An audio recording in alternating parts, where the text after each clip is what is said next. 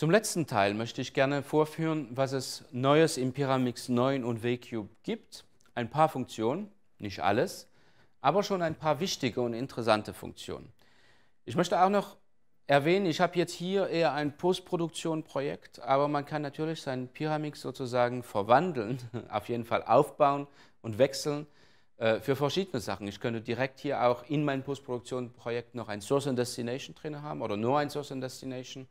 Ich könnte äh, verschiedene, natürlich von einem Projekt oder Template zu der anderen mit verschiedenen Shortcuts und das alles. Das kann ich wirklich aufbauen, wie ich möchte und ist wirklich ultra flexibel in diesem Sinne. Gut.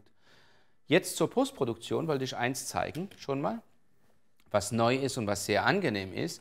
Viele Benutzer haben immer beklagt, naja, in Pyramix möchten wir gerne die Farben auf den Mischer sehen und so weiter.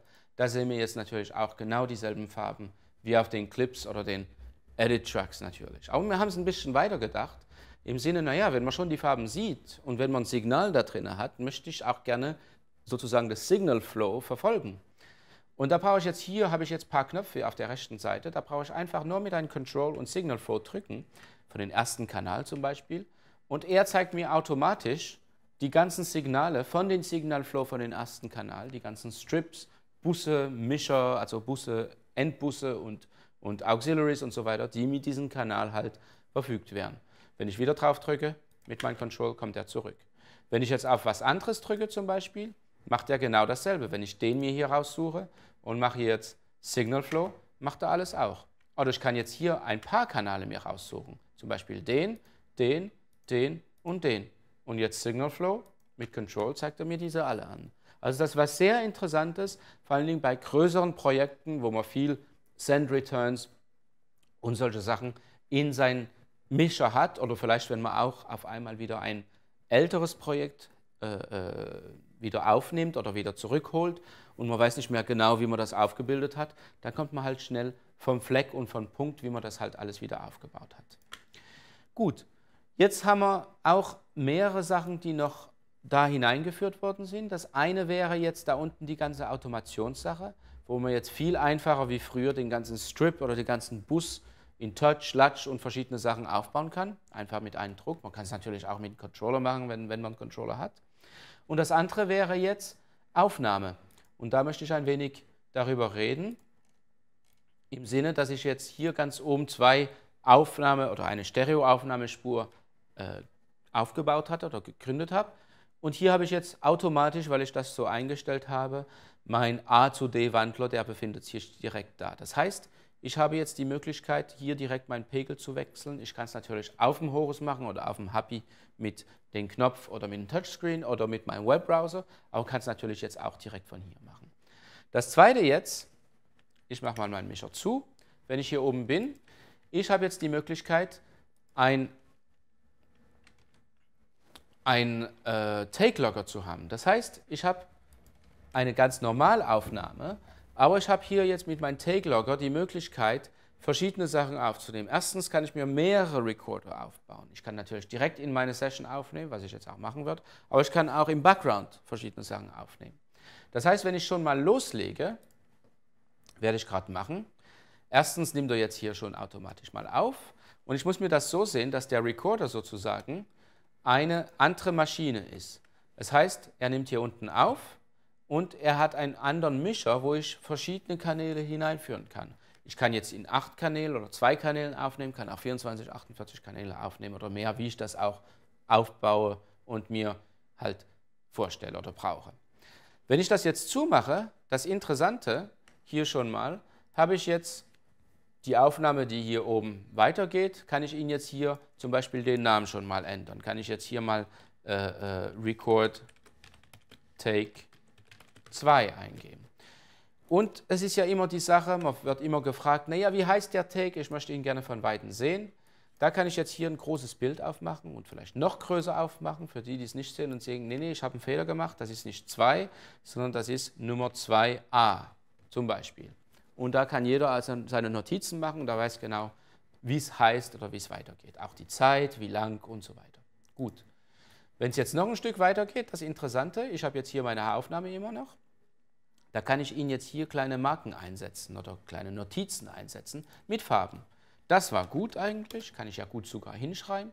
Und hier war auf einmal ein Fehler. Da muss ich halt etwas hinschreiben und ab hier ist es wieder okay so ungefähr und jetzt ist es wieder super gut. Da sieht man sogar vom Weiten weg vom Bild hier, dass es hier ein paar Farben gibt. Und diese paar Farben sind sozusagen Media Markers. Ich, ich höre mal die Aufnahme auf und werde das hier mal ein wenig größer aufmachen. Da sehe ich schon nach der Aufnahme, dass hier schon mal Farben eingesetzt worden sind. Das heißt, ich kann hier mal ganz weg, mal wegschneiden und jetzt sehe ich auch, wenn ich mal den Clip anwähle, meine Kommentare, die halt drauf sind, wie, die, wie ich die benannt habe und dass, wenn ich die schiebe zum Beispiel, gehen die auch mit und sogar sind die mit den Medien zusammen. Das heißt, die werden aufgenommen neben den Medien mit einem spezifischen Pfeil, aber der genauso heißt.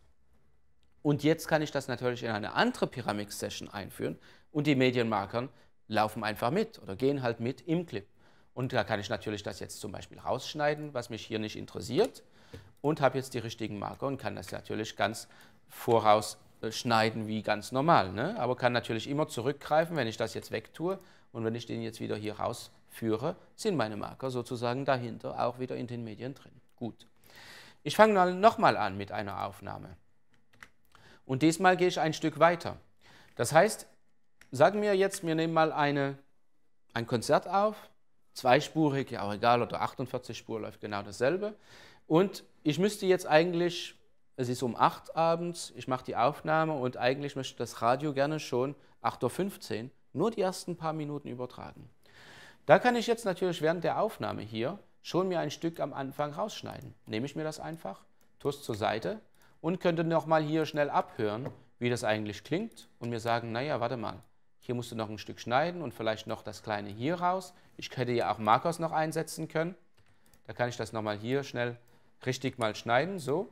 Und dann Crossfade, ich kann ihn natürlich noch editieren und alles besser machen und kann mir noch sagen, hier mache ich nochmal ein, ein Gehen von 4 dB, so geht es ein bisschen höher und kann jetzt einen Export machen, während die Aufnahme noch weitergeht äh, und das exportieren als eine WAV-File oder sogar eine MP3-File, wenn es sein muss und kann das halt einfach weiterschicken über FTP und kann gleich ausgestrahlt werden, vom Radio her zum Beispiel. Während die Aufnahme natürlich weitergeht. Das sehr Interessante noch dazu, während der Aufnahme, wir haben ja vorher in der ersten Video geredet über Horus oder Happy und halt über die Redundanz von äh, elektrischen Signalen, also von Audiosignalen über Audio über IP. Das heißt, das ist heute ganz einfach aufgebaut und ganz einfach zu machen. Aber natürlich, von der Workstation her, möchte man jetzt auch, wenn man diese Redundanz hat vom Audio her, möchte ich auch, also vom elektrischen Signal, möchte ich auch die Redundanz von Medien haben. Und das haben wir jetzt in den Recorders eingebaut. Ich habe jetzt hier die Möglichkeit, auf zwei verschiedenen sozusagen Örtern oder Locations aufzunehmen, die auch natürlich in verschiedenen Festplatten sein können. Die können intern, extern, USB und so weiter sein und in verschiedenen Formaten.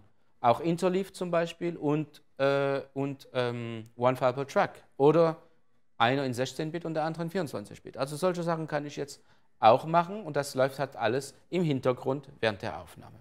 Gut. Ich habe jetzt meine Aufnahme beendet und gehe jetzt zu meiner Finalisierung. Das heißt, ich habe ja am Anfang erwähnt, ich mache ein Post Postproduktionsprodukt sozusagen. Das heißt, ich habe jetzt auch Video damit, ne, auf mein VCube Essentials sozusagen. Was jetzt auch neu ist als Option ist, ich habe jetzt auch einen SDI-Ausgang über Blackmagic-Karten zum Beispiel. Ich mache es mal klein und habe meine Video, die spielt natürlich hier alles mit, mit meinem Ton. Soll auch so sein. Vorwärts, rückwärts und das alles. Äh, ich möchte jetzt natürlich meine Mischung hier machen und da habe ich auch einen neuen Mixdown-Tool. Den finde ich dann hier. Und dieser neue Tool, wenn ich das jetzt hier Master zum Beispiel nenne, kann ich Ihnen sagen, wohin, welche Fileformate und so weiter. Und da habe ich jetzt hier unten meine ganzen verschiedenen Ausgänge. Ich habe ja im Kinobereich oder sogar Fernsehbereich muss ich zum Beispiel einen Stereoausgang machen, natürlich, einen 5.1-Ausgang und vielleicht auch Stems für internationale Versionen und das alles. Und da kann ich das direkt gleich anwählen und kann das gleichzeitig machen. Dazu kann ich Ihnen noch sagen, ob ich hier ein Loudness Metering machen möchte und eine Limitierung zum Beispiel zu verschiedenen Normen. Die R128-Norm ist natürlich auf minus 1 eingestellt bei den Maximum True Peak, aber ich könnte Ihnen sagen, nein, ich will es auf minus 3 einstellen, wie es manche Länder so machen oder manche Broadcaster. Und da kann ich Ihnen das direkt einstellen und das macht er auch während den Ausgang. Und das Schöne noch, Place in VCube. Das heißt, ich mache meinen Mixdown jetzt. Er prozessiert das Ganze jetzt. Kann ich ihn natürlich auch in Echtzeit, Echtzeit anfragen, wenn ich möchte, wenn ich jetzt äh, externe Geräte hätte, was jetzt nicht mein Fall ist. Oder ich kann es halt intern berechnen. Da geht er natürlich so schnell, wie er möchte. Während dieser Zeit kann ich vielleicht noch erwähnen, dass ich natürlich das auf 32 Bit oder auf 64 Bit machen könnte. Auf 64 Bit geht es natürlich wesentlich schneller. Und jetzt das Interessante, habe ich natürlich meinen Ton hier in mein Bild sozusagen mit dem richtigen Timecode darunter. Das Einzige, was ich jetzt noch machen muss oder könnte für die Finalisierung, ist ein Wrap Audio. Das heißt, ich habe ja einen MXF, da tue ich die alte Audio sozusagen raus oder wenn keine ist, halt einfach weg. Und die neue Audio, die ich drin habe, tue ich jetzt ein Wrap in meine MXF hinein und unterschiedlich wie die MXF jetzt ist, 4 Spuren, 24 Bit oder 8 Spuren, 16 Bit und so weiter, kann ich ihn eingeben. Äh, kann ihn auch noch Metadaten eingeben, gebe einen Timecode und vor allen Dingen mein Post-Processing vom Audio. Das heißt, bin ich in 5.1 in Stereo oder 5.1 plus Stereo und dann kann ich noch ein Dolby Encoding einsetzen, ein Jünger Loudness äh, äh, äh, Correction kann ich noch einsetzen. Das sind dann alles Optionen. Und schlussendlich mein Final Check. Das heißt, er macht dann noch einen Report von meinem R128 und kann das noch mit meiner File, mit meiner MXF-File weitergeben. So, das sind ein paar von den neuen Features von Pyramix 9 und WCUB 5.